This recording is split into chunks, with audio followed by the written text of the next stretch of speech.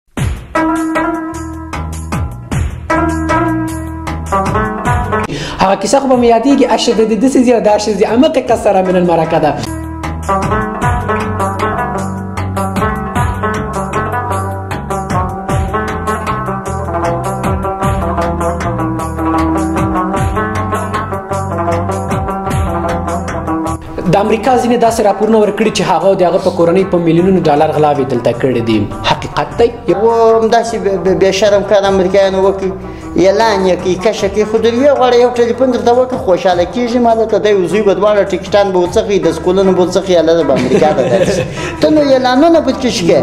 دا هغه شیان دي چې زموږ نامه ته صدمه رسوي زموږ افغان بدن ته صدمه رسوي واغه د استاد مکوری خدای پاک ته وبښ دغه غزل چې وای املا چې به تقوا سي امیان سره ملامت نو خدای زموږ د پارلمان رئیس یو تخپل دا رقم یې د شپې یو رقم کېږي د ورځې بل رقم کېږي جوړیم سره باشنا است اریانا سعید پاړه کو نظر ورته چې د پیژنې خو به کله مور ترختیا سندره اورېدلې ده پارلمان کې شناس او د اروپا په پارلمان کې یو خبره کوله دغه د دې موډلینګ او د دې کالی او د دا د وتلې معامله شاته وتلې دغه څه ډېر سودایي کړم ډېر وایم وایم وام نغمه هم غزله وایي په یو پرده کې وایي یو افغاني جامې اغوستي غورکه مې سره اغوستي سړي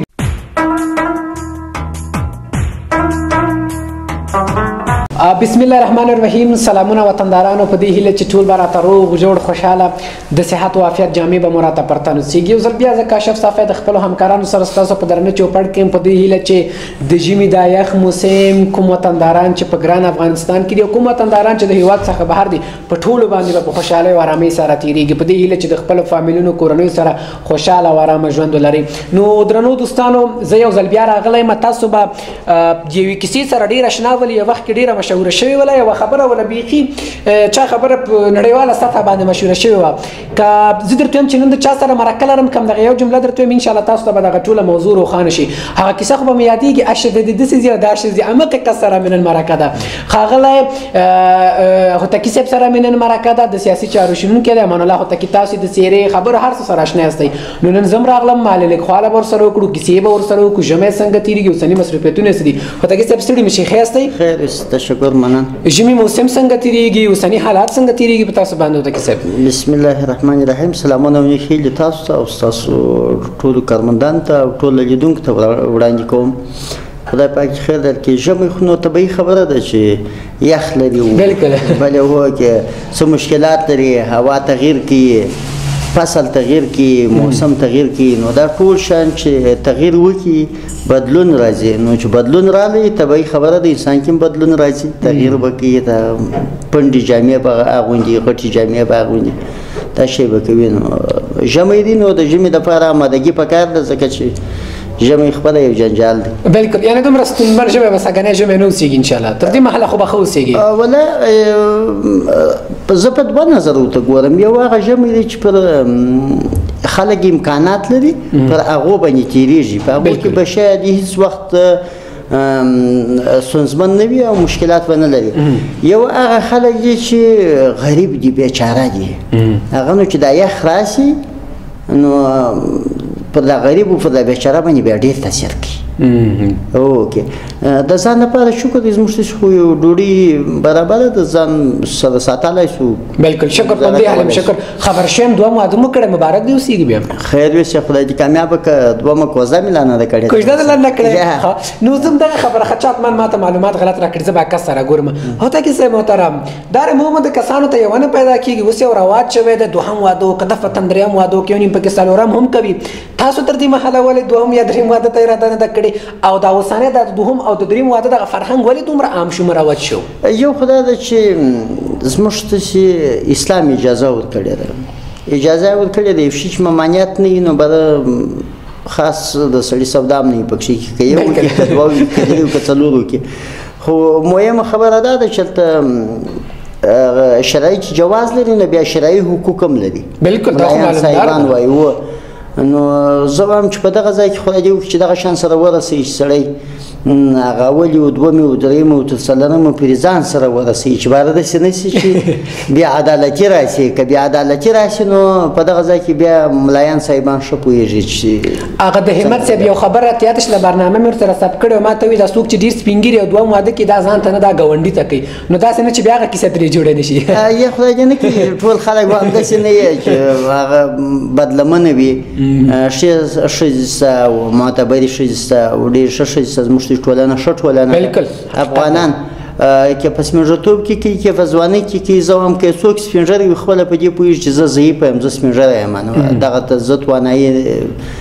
نه لرم نو موږ ته چې مسلمانان یو باید هغه اسلامي حقوق تم د دې ښځې وګورو بالکل او د دې هغه نور چې بیا راواخلو د امیانو په اصطلاح باندې هغه انساني حقوق او بشري حقوق چې دې ټول شین چې سړی باید په نظر کې ونیسي نو زه وایم د سیده چې اوس نوري خبرې سړی پښکې راولي د دې لپاره چې دغه نسی خدای نه خسته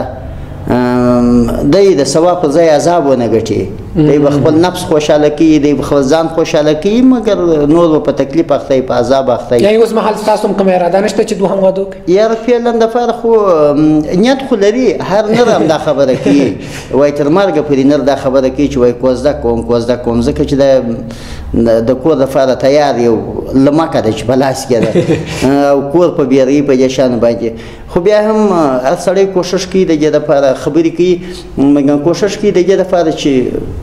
ژوند دغه زړو سره سړی شب مختی شي د ازما په نظر تر بیا ده خو بیا هم انسانان دي نو خامخا سړی پتا به پیدا شي سړی پتا به پیدا شي سم ځای پیدا شي جوړ ځای پیدا شي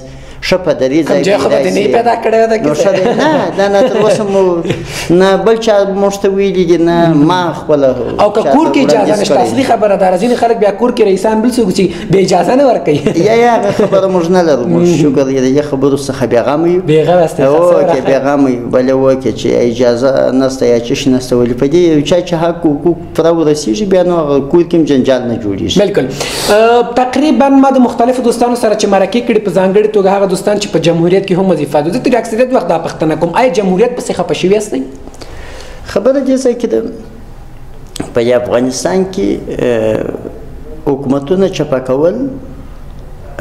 یو رقم تاوان لري زه په هغه تاوانونو پسې د حکومت ډیر خپه کېږم هغه دا دی چې حکومت خپل ملایان صاحبان وایي د مور پلار حیثیت لري نو که د سړی پلار مور نه وي بیا نو په کور کې ګډوډي راځي مشکلات راځي زیانونه لري مشکلات لري دغه حکومتونه چې چپه کېږي په دې حکومت کې دا نظام ټول د مابین ځي یوازې دا نه دی چې حکومت چپه کېږي نظام د مابین ځي نظام چې د مابین ځه ولاړی دلته یو رقم ګډوډي راځي هر څوک چې راشي هم هغه نوی چې راغلی هم د هغه دپاره مشکلات وي او هم هغه زوړ چې تللی وي هم د هغه دپاره مشکلات وي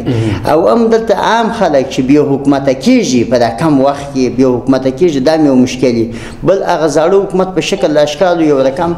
دا دغه رغولي وي د اړیکې رغولي وي د چا سره شوبه جبادون کړي ګرد کیسې منم کړي دغه خپل هغه شان چې سړی زوري دا خپل هغه شان دي زه وایم په دې ملک په دې هیواد کې چې حکومت فاته شي او د هغه حکومت چې د سړی عزت خوندي وي زموږ د افغانانو او زموږ د افغانانو پت پکې خوندي وي زموږ د افغانانو ته د کار زمینې پکې برابرېږي زموږ د افغانانو لپاره په حقیقت کې هغه غوښتنې چې کومې غوښتنې افغانان لري هغه پکې منل کېږي نو دغه حکومتونه چې پاتې سي زه په دغه خوشاله یم نه په دې حکومتونو باندې چې راسه دا حکومت چې پاسه دا بیا راځي د سره جوړو بیا بل حکومت چې پاسه بیا بل د سره جوړو دا زموږ د فاره د زارو غړپ دی او چې زموږ د فاره چې حکومت فاتې سي حکومت به اصلاح سي مشکل نه ده مګر چې حکومت فاته سي دایم سي وښ سي دا زموږ لپاره په خیر بولم خوایم په دغه په دې چې د حکومتونو انقلابونه چپه کیږي بالکل یو پښتنه په جمهوریت کې کوم بیا به اوسنی حالات ته راشو د ولسی جرګې په پخوانی مشر خاغلی میر رحمان رحماني د امریکا ځینې داسې راپورونه ورکړي چې هغه د هغه په کورنۍ په میلیونونو ډالر غلاوې دلته کړې دي حقیقت دی یو موضوع دوهمه موضوع ولې کله چې امریکا په افغانستان کې ولې ولې دا ټول کسان هم دلته ولو چې چا غلا کړي ورانی ولې به دغه کس غلا کړي خلاص نه غلا خو اوس نه دا کړي غلا خو په خوا کړنو امریکا ولې اوس مهال دغه دوسیه را برسېره کوي او آیا موږ دا کولای شو چې د نورو هغه پخوانی تختیدلو کسانو ته د یو نمونه وګرځو چې هغه څخه به مې صافي کې چا چې د ملت په حق خیانت کړی دی څو شی دی په دې کې یو میسج پروت دی یو پیغام پروت دی چې هغه دا که څوک خیانت کوي حساب سره کېږي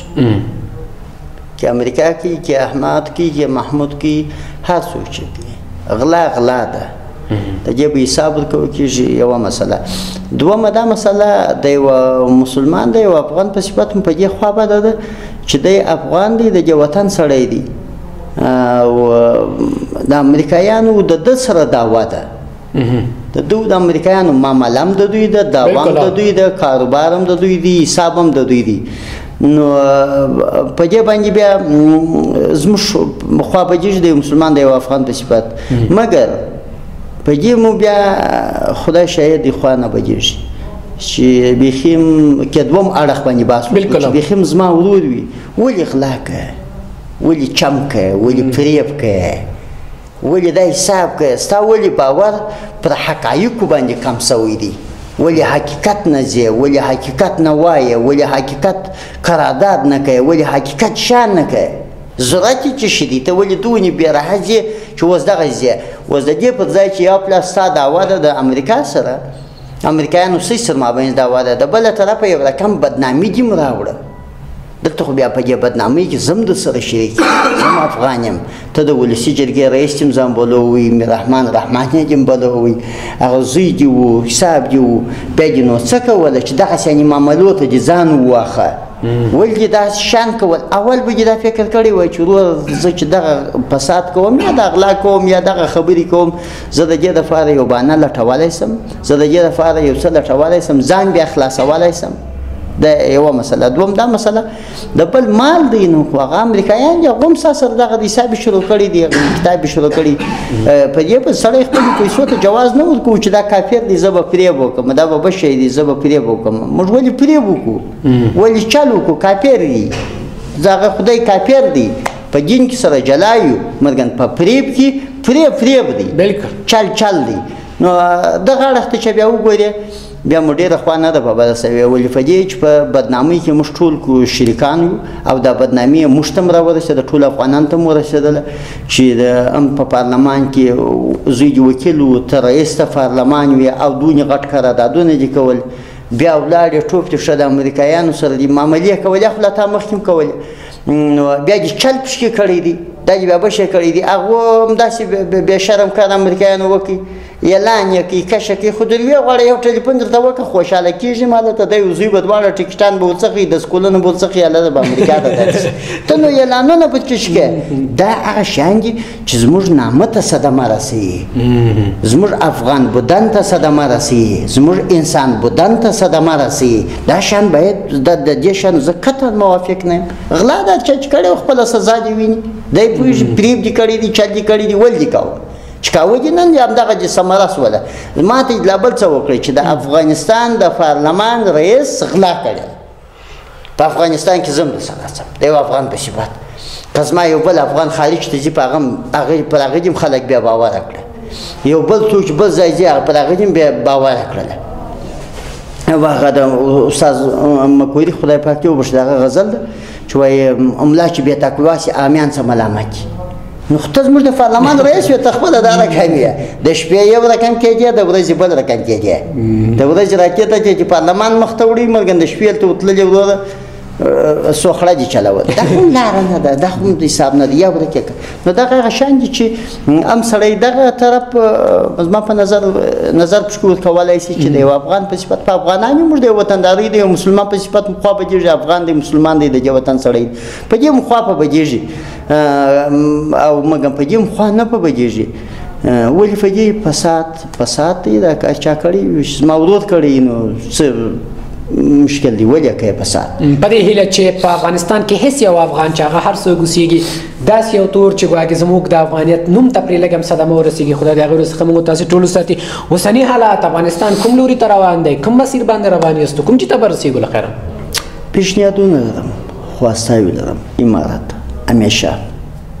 زه د خپل په کم فکر په کم عقل او په د کم معلومات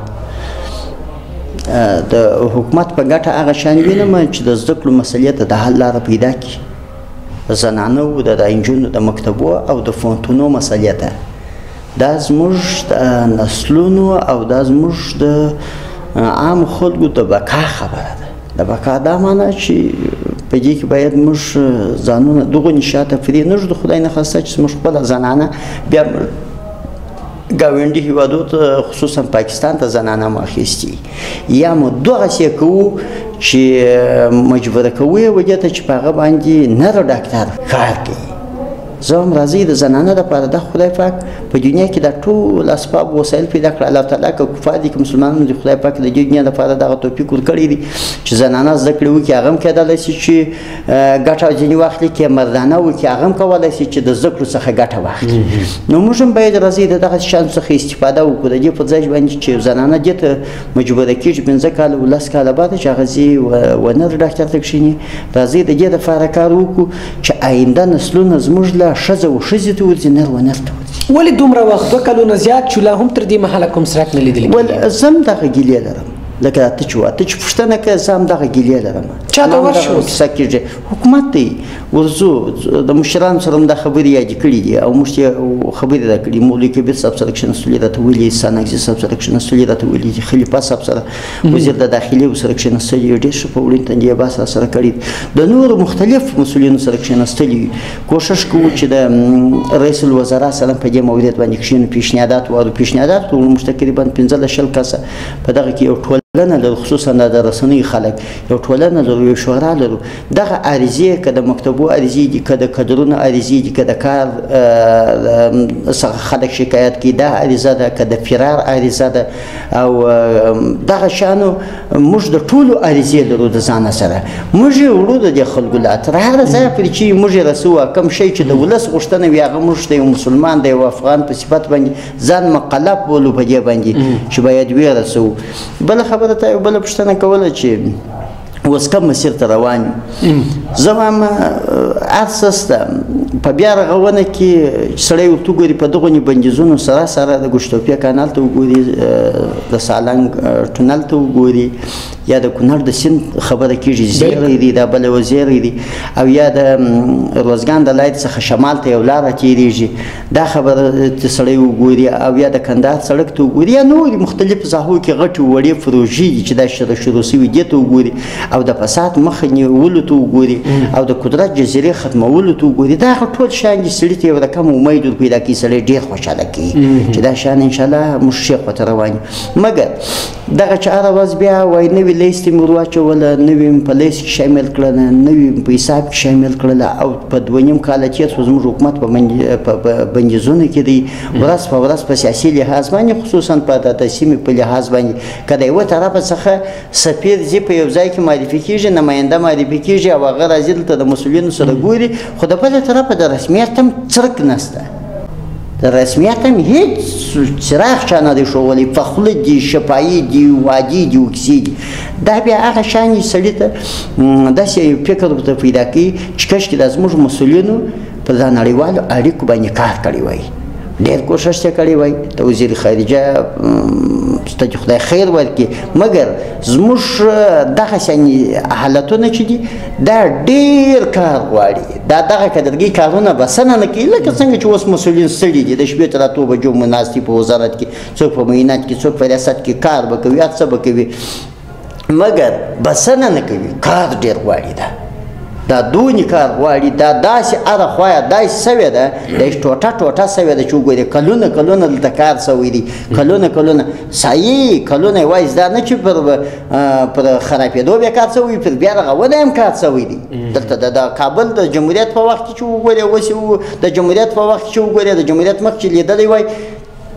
تغیر کړی لکه چپه چې پورته سوی شارو تغیر وکړي بچوان تغیر وکړي دا د بیا رغونې په اړه باندې مګر بیا هم خارجان ورغلي و دنیا ورغلي و شاید هغه پلانونه یې درلوده چې موږ لس کاله بعد وپوهېږو شل کاله بعد وپوهېږو دېرش کاله بعد وپوهېږو چې دغه شی چې پلانکی هیواد کاوه د زموږ په ګټه نه و د دې مخکې چې روسان راغلي وه شاید دغه یعنی مشکلات وي چې هغه موږ ډېر وروسته وپوهېږول په دې زموږ فرهنګ ټوټه ټوټه سو زموږ عزتمن خلک بې عزته سول زموږ عزتمن خلک په شهادت ورسېده بندیان سول سپک سول غریبان سول دا ټول هغه شان راغله چې لوړو جوور راغله دغسې خلک هم په بعضې په دې تېرو حکومتونو کې سړی ورته وګوري داسې خلک واک ته ورسېده چې هغه موقف په پر غټ پر سړي باندې ا موقف پر دروند و پر دې سړي باندې سړي چې به فکر کوي چې دا موقف ته وګوره د بې نسبه خلک هم واک ته ورسېده بې څه هم ورسېدل نو دا هغه شان طبیعي خبره ده دا به په ډېرو حکومتونو کې رسېږي خو زموږ امارت خواست دی هغه خلک چې حکومت ته خپل د فکر په خاطر باندې خپل فکر یې رسوي او غواړي دی چې ځان وښیي غواړي چې ځان غټ وښیي غواړي چې ځان تقوادار وښیي غواړي چې ځان پرهېزګار وښيي او هغه څه را مابینځته کوي چې هغه د ملت او د حکومت تر مابینځ د اختلاف نکته راولي د بحث نکته راولي غوښتنه مې دا ده د امارات څخه چې دا سایټ ته کوي دا په غلطه کې دا زما او ستا د وطن په ګټه نه دی ستا به انډیوال وي تقوا به لري پریز به لري جهاد به کړي قرباني به ورکړي مقابلې به کړي مګر اوس دلته حکومتداري ده یو څوک را ولاړېږي په حکومتدارۍ کې ته خدای نه خواسته د پیتایو باس پیدا کوي د پیتایو خبرې ورته پیدا کوي د ټولنې په په په ټولنې په مخه نوې خبرې ورولي د ټولنې په مخه غواړي چې نور شان نوې نوې رامابینځته کړي د امارت هم غوښتنه دا ده چې دا ستا په زیان وبلم یعنی تر ټولو دوه اساسي موضوعات لمړی کې پرمختګ برخه تذیر شنو ډیر زیات پرمختګونه شوي ولې کزینې برخه تو ګورو په ځانګړي توګه د نجونو د مکاتب موضوع دا مهمه موضوع ده په دغه کې دغه کیسه شې د سې د دغه قسم په کې لږ زره کې مشهور شله اوس خو درته څوک دا خبره نه کوي ته نه خو هغه سړاس ولا څه ډیر نړیواله سول نړیواله سول به دنیا را وښله موږ خپل مریان کړی و چې دا اوس بیا غن ورس یو بل قسم شل انجونی دی مکتب دی انجونی دی مکتب دی دا قسم بیا ولا ډیر هم دشي دی اوس هم دوستان دشي دی بالکل خبرې باسي په شکل د اشکال د غشي سره او د وخت او زمانه سره پر یو شی باندې بس به وته برابر کی وته سیدا کی چې وته سیدا کړل یا تاسو سره وخوري شي انو دغه شان سب شي کې د ظلم د انجونو د زده کړو مسله ده او د فونتونونو مسله ده دا به منو دا ستونزه ده او دا د شنه زه کتان پر نړیوالو پر خبرو پر غشتونو باندې هغه څه کوم زه زموږ خپل غشتنه ده بالکل موږ ناری و خو چې دا زموږ غشتنه ده ملایانو صاحبانو تاسو هم واکداران یاست او ملایان یاست لار ته پیدا کی چې څو چې دا موضوع په اصله شي دا دوسیه خلاصه کیږي سره کې اوس دغه څه ده یو او بیا په ټینګار سیس د چینل د لارې دا خبره کوم چې امارات هغه خلک چې د خلکو ته نوې خبرې ور پیدا کوي د باس لپاره ور پیدا کوي او هغه خدای نه خواسته منفي ګرایي خواته ځي او هغه غواړي په حکومت کې ځان غټ وشي امارات غوښتنه مې دا ده چې دغه خلک سایت ته که بغل کې که ورک کې که په دغه باندې مرګ ځي سره بالکل ډیره مننه کوم ته کیسه محترم یو څو نمونه مې دي تاسو پر خپل نظر وړاندې کړئ لمړنۍ هغه کوم شخصي نظر مو سیګ دغه د شخصیت اړوند دی هغه د معلومات یا ناسه پاسه جوړ سره دی هغه خپل معلومات ورکړي لمړنۍ نوم جنرال مبین جنرال مبین زه په یو شو ته هم چاپ دی خدای خیر ورکړي دغه خپل خیریه بنسټ یې دا شی کامیاب کړي دا ښېګنه چې دا خلکو ته خیر رسیږي خلکو ته ګټه رسیږي دا کامیاب کړي بل دی پر هغه شان باندې ډیر کار کوي تر ډیره پورې چې هغه ملي شان دي دغه شان کې زما په نظر زه جنرال مبین په دغه شان کې کامیاب ولم خدای دې خیر ورکړي بالکل مخکینه ولسمشر ښاغلی اشرف غریب تازه خبرې کړې وې د پاکستان څخه باید غچ واغستل شي خو په ډیر سیستماتیک ډول باندې په ډېر خيارن ډول باندې د سینې چا د مور مخته شم اشرف غنی زه د څو نقطې نظر اوسه ګورم زه برحال رئیس شورای ولایتي هم د سره په کمپاین کې په روزګان کې می مسولیت هم واخیستی مرکزی دفتر د بل چا سره ما مسولیت سره واخیستی ما سره وکړ ډاکټر صاحب عبد الله دوی خپل ټلیفون هم راته کوي الله چې کمانډان صاحب سره دغه سلام خان مسول د دفتر او ټلیفونونه هم راته کول خو زه وایم په دې خاطر نه زه چې دا ان دی ان دی زه په دغه خاطر زما یو امید درته درلودی که افغانستان دغه اوسنی وضعیت ته تغییر ورکوي یو سل اتیا درجې هغه به دی وي او نو زه په کمپۍ کې اوله پیرم د سره وم دومه پیرم د خپل د جوړ سره وم یو بیا زره د سکریم په د دوم پیری د دوی مرکزی دفتر ته راوړي ثبت نام د پاره نو د شرایط د شراغلی و چې د بادو د بتات به انځ خبره و انا د شم وکړه کنه وی اول زما ومین د تدشو چې د اکاډمیک شخص دی د دنیا لیدل ده د امریکا په نظم هم پوهیږي نه بس باندې پوهیږي او د نړیوالو پوهیږي خپل په مشکلاتو پوهیږي څنګه کولای شي خبر دی پوهیږي ستونزې دي مشکلات دي په داخل کې دي په سیمه کې دي نړیوالو کې دي د اخوا څخه طالبانو جګړه راپسې راخیستې ده ټول شان دي او تورن هم په دې چې تاسو د امریکایانو د اشغال ملګری یاست دې خبرو باندې یاست څنګه کولای سم چې دغه کې یو رقم داسې بدلون ورکړم چې دغه حکومت را وباسم د دې شان څخه لوري ورکم حکومت ته یوازې دا نه چې موږ برنامې دي را موړه د برنامه تطبیق کوم پلان کوم ان ان کوم دغه برنامه و دا شنده خدا د ډیره وخت یاره کوم امیدونه چې ول هغه ستر سره نشو زما امید دته لکه دا څنګه چې دا وکړل د چې نو زما کوم امید دته برعکس وو ولې فدیه دا د خبرې ام ټول د دی وی صحیح د نیم سره باشنه استای اریانا سعید په اړه مو نظر ورته څه شي ده پیژنې خو به کله مور ترختیا سندره اورېدلې ده یار زه فکر نه کوم چې دې سندره به ما تر اوسه اورېدلې هغه یو خبره مې چې کړې و ډېره پکې مشهوره سوله د دې څه چې کس زما ډېره ګیله وسوله دا په دا اروپا کې هلته په هغه دغه کې چې ناسته و نو خبره په ډېره مشهوره هم سوله په څه نومېږي په نوم یې راسي په پارلمان کې چې ناست او د اروپا په پارلمان کې یو خبره یې کوله هلته دغه د دې موډلینګ او د دې کالي او د دې سینه مخته وتلې معامله شاته وتلې دغه ډېر سودایي کړم ډېر یو رقم به تاثیر په موقع شاید زما په شان ډېر افغانان باندې به تاثیر کړی ولې په موږ افغانان ځان ته کلتور لرو نغمه هم غزلي وایي دقیق خبرې ته زه راتلم چې تاسو د واخو نرمند نغمې اړوند دا دې خیر درکې زه وایم وایي وام نغمه هم غزله وایي په یو پرده کې وایي یو افغاني جامې اغوستي ورکه مې سره اغوستي سړي دوی نه راځي دی خو بیخي نور چمونه شروع کړي دي ګر سره کې زه هم دا دا دا لاره ګر سره کې نه و دا ګر سره کې د روپۍ کې خوندونه کې زه د دې په اړه باندې هیڅ مثبت نظر نه لرم او د نغمې اړوند خو به انشاءالله مثبت نظر زه وایم د نغمې په اړه باندې زه دا یو شی لرم چې خپل فرهنګ د لاس نه دی ورکړي هنرمند د دا پویږي غزل پویږي حساب پویږي مګر خپل په فرهنګ کې پاتې سوی ده هغه افغاني فرهنګ ساتلی دی دا نه خبره ده موږ د خپل فرهنګ باید ځای وساتو دا نو چې زه اوس لاړ سم بل هیواد ته لاړ سم بیا په ژره کې چوکۍ جوړې کړي داسې مې رچولي بیا مې داسې رچولي بیا مې داسې کړي دا دا زموږ فرهنګ نه دی یا فرض مثال مې ټول سر مې بل رقم کړي یا مې وګورې دا کالي دي زه نارې وخم په شرمېږم بل شی مې کړي دا حساب خصوصا زنانه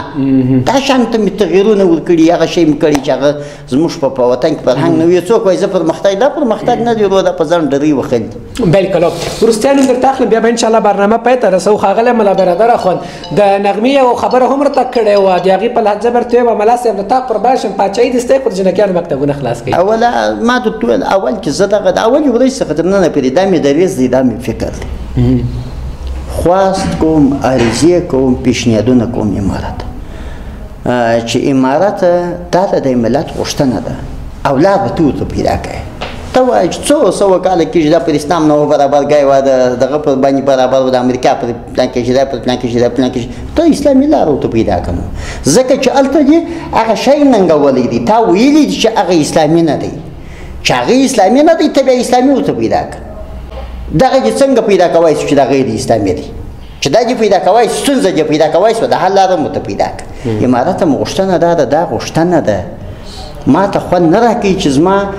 خور زما مور زما کوروالا زما لور زما شناختګان زه مردانه ډاکټر ته بیایم قسم اسلام اجازه ورکړې د مخالفت په دې کې نه لرو په دې خصوص کې دا د اسلام اجازه ورکړې د جواز لري یوا مګر زما د ضمیر ما ته دا ښه خوند راکوي چې زنانه ته بوځم ما ته دا ښه خوند راکوي چې زنانه زنانه ته ورولم که نسایي وي ولادي وي که نور امراض وي که مختلف امراض یې باید هغو ته ورولم راځئ په دغه خاطر په دې وطن زړه وسوځو یو د بله طرفه څه ګټه به چې شي هم به ملت خوشحاله کړو هم به نړیوالو موضوع خلاصه کړو ګرده کیسه به خلاصه شي اشه د چې په یوه لوشان دوه ټک په یوه ټک دوه لوشانه ولو خو نو ګټه مو ده خو راځي دې وطن ته ګټې راوړو په ټوله یې راوړو اوس نو که دا بیا نه کوې نو بیا ګټه وښیه ووایه هغه ګټه تر دې غټه ده هغه ګټه هم باید معلومه کړي چې هغه ګټه تر دغه غټه ده تر څو پورې چې دغه زموږ ښځې تعلیم ته ولاړې شي یو بله ستونزه پکې را پیدا کېږي نن دوه نیم کاله تېر شوي چې دغه مکتبونه دغه تر امر ثاني پورې ځنډولې دي د انجونو او د دغه لا پونتونانه ځنډولې دي د شوزله زه هم نن دوه نیم کال کېږي دوه نیم کال کې د څلور کالو شزه د شپږ نیم کال سوي ده د شپږ د شپږ کال لا د ات نیم کال سوي ده د لاس کال لا د څوار لس نیم کال سوي ده دلته زمان تیریږي دلته وخت تیریږي کدا وخت نه تیریدلای مشکل نه و خو دلته وخت موږ څخه تیریږي اشه دا نو بیا امکان لري چې د شلو کالو یا د اتلس کالو یا د پنځلس کالو انجلۍ دي بیا راځي بیا دې په دوم دغه په شپږم په اووم سیم کې کښیني